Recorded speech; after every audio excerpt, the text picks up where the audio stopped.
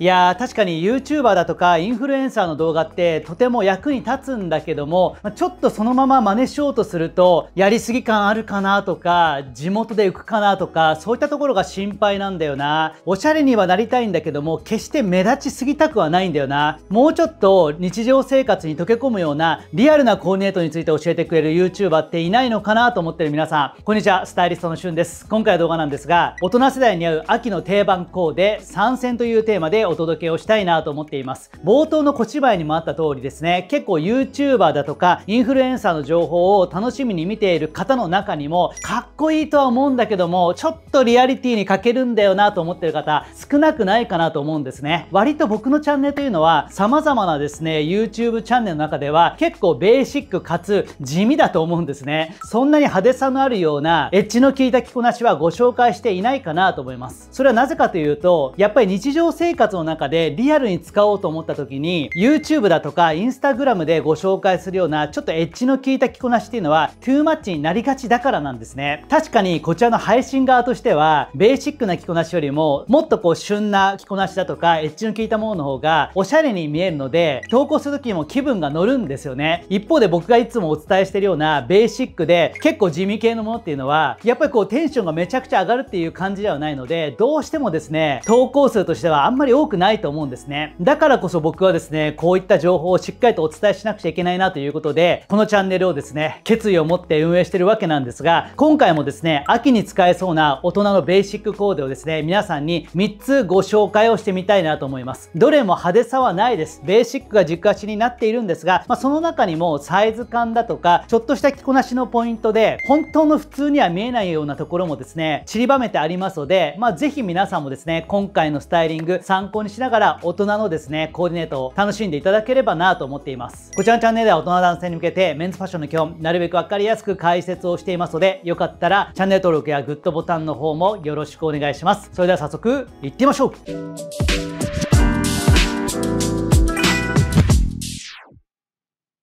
はい、ということで、ここからはですね、具体的に秋のですね、大人に似合う定番コーデを皆さんに3つご紹介していきたいなと思ってるんですが、まず1つ目は、僕の中ではですね、もう外せないような土定番の着こなしなんですが、まあ、こちらからご紹介をしていきたいなと思います。主役になるのはですね、今着ているブルーのシャツですね。まあ、無地のものを選択させていただきました。まあ、これはですね、ここ最近結構定番的な位置づけになってるかなと思います。まずは襟型を見ていただきたいんですが、レギュラーカラーですね。一番ベーシックで使いやすい普通のですね、襟型になっているんですが、少しだけ襟が大きめの形になっていまして、えー、身幅ですね。これが少しゆとりがあるんですね。まあ、カジュアルで着るシャツというのはビジネス用とはまた違って、少しゆとりがあった方が休日のリラックス感が出やすいので、まあ、こういったサイズ感が理想的かなと思います。で、肩のラインもですね、それと同じように少し落とすことでやや緩めの雰囲気を出した方が大人の休日用のシャツとしては適してるかなと思います。だけども着丈は長すぎないっていうのがポイントになってまして、まあ、これもですねお尻は後ろから見るとちゃんと隠れるぐらいありますが長すぎるようなバランスではないのでこういったですねシャツというのがやっぱり1枚あると便利かなと思います。今僕が着てるのは自分のブランドで作っている定番のシャツなんですが素材はコットンのものですね。いろんなショップで売っています、まあ、うちのシャツはコットンとナイロンがブレンドされているので、まあ、ちょっとこう適度なシワ感みたいなところも味のような雰囲気で出てくるので、まあ、なかなかこれが使い勝手がいいんですね。普通のシャツではあるんですがサイズ感が今っぽいのとあとはブルーということで白シャツに比べると清涼感があったり爽やかに見えるというところがあるのでまあこれを着ていて不潔に見えることはないですしやぼったく感じることはまずないかなと思うので、まあ、非常にですね好印象なシャツかなと思っています。下にはですねもう白 T ですね。これはもう何でもいいです。僕は先ほどから着ていたちょっとだけプリントが覗くようなですね白 T を着ていいますがヘインズのビーフィー T だとかそのあたりでですねちょっと覗かせてあげるといいかなと思います、まあ、ポイントとしてはこういったベーシックなシャツを少し着崩してあげることが大事だなと思ってまして腕ですねこれはちょっとまくってください。手首あたりを見せることで、まあ、時計だとかバングルを見せて少しこなれ感を出してあげると僕はバランスがいいかなと思います。あとは首元ですね。第1ボタンと第2ボタンを開けてここのですね V ゾーンを少しだけ広めに取ってあげて下に着るですね白 T を見せてあげるというのがポイントになってくるルかなと思います。小綺麗でちょっとビジネスライクなシャツだからこそ着崩すということがすごく重要になってくるので、まあ、こういった形で着崩しのポイントを作ってあげるとですねこなれて見えやすいかなと思います。でボトムスに関してはですねもうシンプルにブラックのパンツで合わせてみました。まあ、これはダークグレーのパンツとかそういったものでも全く問題がないんですが一番ですね僕のチャンネルとも親和性が高いのがブラック系のパンツになります。まあ、シンプルなグリーンレーベルのですねオルマイージーパンツとかでもいいと思いますしちょっょっと今っぽさを出したいのであればユニクロのタックワイドパンツとかでもいいと思います。着こなし自体が割とシンプルなのでサイズ感に少しゆとりを出してもですねカジュアルすぎない印象になるのでぜひ皆さんも試していただきたいなと思っています。で足元なんですがこれでですね白レザースニーカーを合わせると結構こう全体的にシンプルなので退屈に感じてしまうんですね。なので今回はグレーのニューバランスを合わせてみました。ブラックのパンツとグレーのシューズというのはモノトーンになるのでハマりがいいですしぽってりとした丸みボリューム感のあるニューバランスというところで着こなしの退屈さをちょっと埋めることができるので今回はニューバランスを選んでいます、まあ、このような形でベーシックな着こなしではあるんですが部分的にですねアクセントを取り入れてるんですね。腕まくりだとかボタン外しだとかシューズのニューバランスのちょっとしたぽってり感だとかその辺りで少しアクセントを加えてあげれば派手さはないけどもちょっとしたこなれ感というところは出すことができるかなと思うので、まあ、ぜひこの着こなし皆さんもトライをしていただきたいなと思います。僕のブランドのブルーシャツもしばらく欠品がついてたんですがようやくですね再入荷しましたので、ま、こちらもよかったらチェックしていただきたいなと思っています。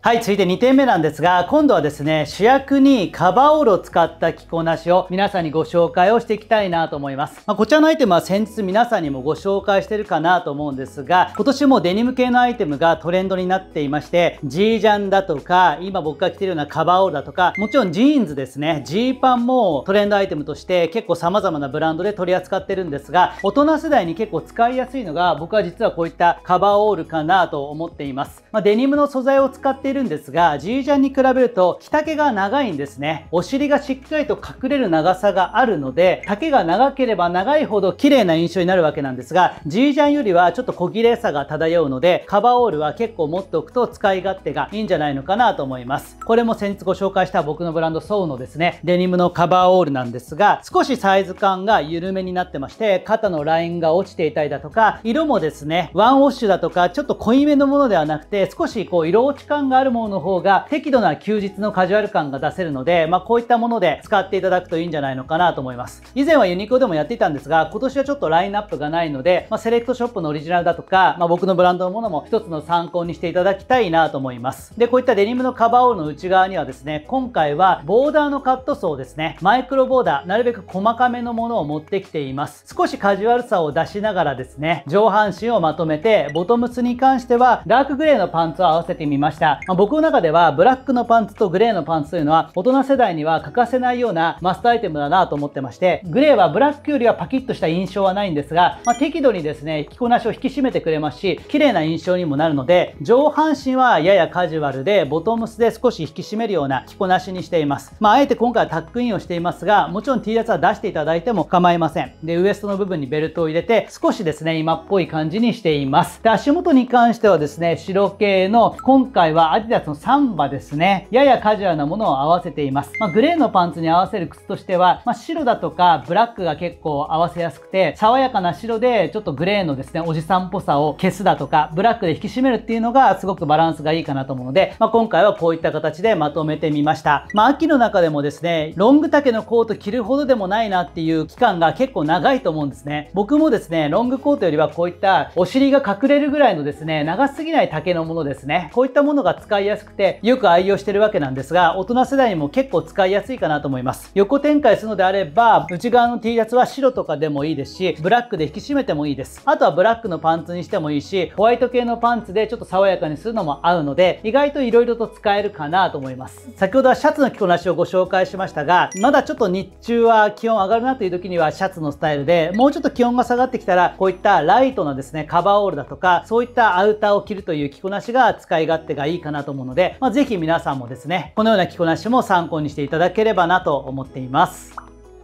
はい、続いてラスト3点目の着こなしなんですが、今度の主役はですね、僕が今着ているこちらのラムニットジャケット、今季のユニクロ U のものですね。これはですね、非常に個人的にですね、自分っぽいアイテムだなと思いました。決して派手さはないんですが、その中にもですね、デザイン的な面白みが適度に入ってるんですね。ニットなんだけども、襟付きのジャケットの形をしていて、カーディガンとジャケットの間ぐらいの立ち位置というところですね。で、胸ポケケットもついていて、この辺りもですね、何もないよりは、やっぱりこう、ジャケットっぽい、アウターっぽい見た目になっているところが非常にですね、作りがいいなと思っているような優秀なアイテムだと思います。まだまだ在庫切れとかも起きてないので、ぜひ皆さん改めてチェックしていただきたいなと思うんですが、こちらブラックを選んで、なるべくですね、ベーシックに着こなしを作ってみました。こちらのニットジャケットの下にはですね、丸首の T シャツなんですが、個人的にはちょっと珍しいです。ダークグレーのユニクロ U のエアリリズムコットンオーバーサイズクルネック T シャツを合わせています。これ夏場だと1枚でこの色を着ることが多かったりするんですが、今回は上半身をですね、ダークグレーとブラックでグラデーションを作っています。まあ割と近しい色で上半身をちょっと重めにまとめる形ですね。で、ボトムスに関してはですね、ちょっとこうブラックだとかグレーだとつまらないので、今回はですね、オリーブ色のですね、ワークだとかミリタリーを感じるような色合いのものを選んでみました。こちらベイカーパンツですね。こちらも僕のブランドで作ってるものなんですが、ちょっと今在庫がないので、他のブランドものをまたご紹介したいなと思うんですが、この腰の位置にですね、外付けのポケットがついていて、カーゴパンツよりは太すぎないのがですね、こういったベイカーパンツの一つの魅力かなと思うんですが、こういったものを合わせてみました。上半身がモノトーンなので、ちょっと退屈な感じがするところを、オリーブのパンツでややこう、やぼったさだとか、ワーク、ミリタリー調の部分を入れてあげることで、適度なカジュアル感を出すようなですね、コンセプトの着こなしになっています。で、足元に関しては、上半身の色味と合わせる形で、ブラック系のスニーカーで引き締めています。今回はですね、先ほども履いていましたが、アディダスのサンバですね。これがですね、ブラックめちゃくちゃ使いやすいんですよね。ラインのホワイトだとか、かかとの部分にホワイトのパーツ使ってあるので、重たくなりすぎないんですよね。これがすごく使いやすくて、適度なカジュアル感が出るんだけども、レザー素材の綺麗さというところもちゃんと備えてあるので、これが結構ですね、使いやすいかなと思います。まあ、サンバは一時はもうすごい人気で買えなかったんですが、今はだいぶ在庫も安定してきたので、意外と狙い目だと思います。サンバだとか、クラークスのワラビーだとか、そのあたりで合わせていただければ、すごくこの着こなしがまとまりやすいかなと思うので、ぜひトライしていただきたいなと思っています。まあ、割とシックな着こなしで、先ほどご紹介したシャツの着こなしから、もうちょっと寒くなってきたら、ニット、さらに寒くなってきたら、デニムのカバーオール、こんな形でですね、3段階で秋の着こなしを組んでいただければ、かなり多くの方に楽しんでいただけるかなと思うので、よかったら参考にしていただければなと思っています。